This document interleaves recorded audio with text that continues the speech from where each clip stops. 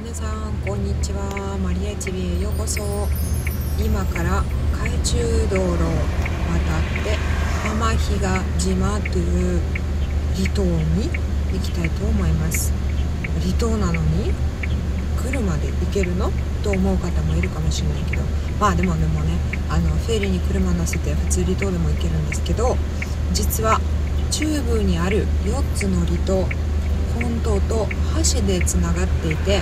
5キロ以上続く橋がありましてそれは海中道路と言います、えー、まあそのままですね。海を走るというすごいなんか不思議な感覚になるんですけれどもちょっと今から浜比嘉島というところに行って私の秘密なスポットを紹介したいと思います、まあ、秘密なスポットといってもね知ってる方は知ってるんですけど、えー、なんかね何回も沖縄に来てもそんなところあったんだと